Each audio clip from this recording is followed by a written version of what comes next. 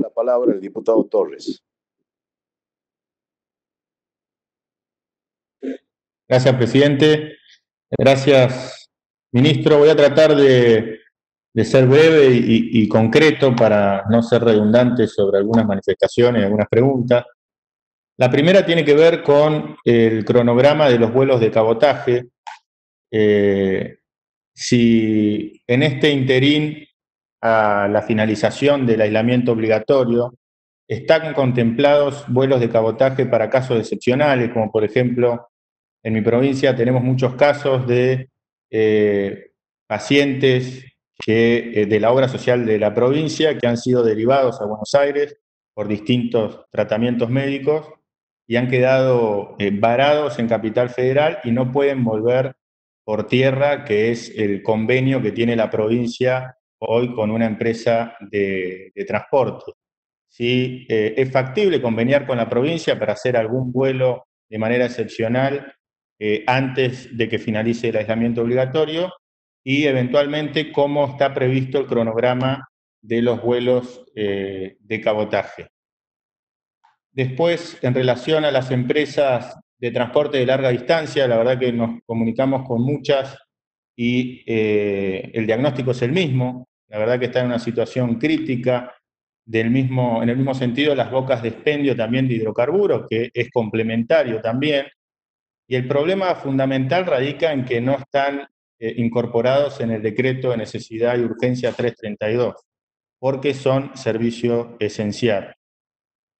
Existe la posibilidad de contemplarlos bajo algún criterio objetivo, como por ejemplo la baja de la facturación, que esto es comprobable en términos eh, impositivos, una baja, por ejemplo, de más del 50%, que es la realidad de la gran mayoría de las empresas, eh, y si hay algún tipo de gestión a través del ministerio con las áreas de eh, competencia. Después,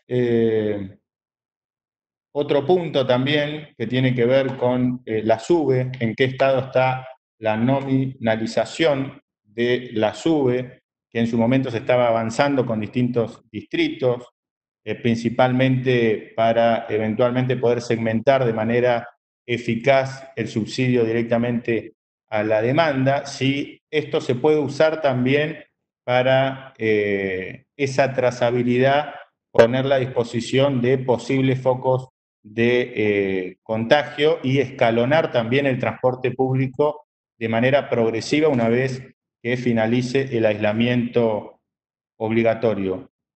Por último, eh, un tema que tiene que ver con mi provincia, Hoy no hay temporada de pesca, pero eh, esperemos que en, breve se pueda reactivar la temporada de pesca. Nosotros tenemos uno de los puertos que son estratégicos para todo el país, de las principales capturas de pesca, que es Rawson, y la verdad que la provincia está en una situación eh, muy compleja en términos fiscales, ver la posibilidad de eh, conveniar con el Ministerio de Transporte para poder realizar el mantenimiento y el dragado del puerto.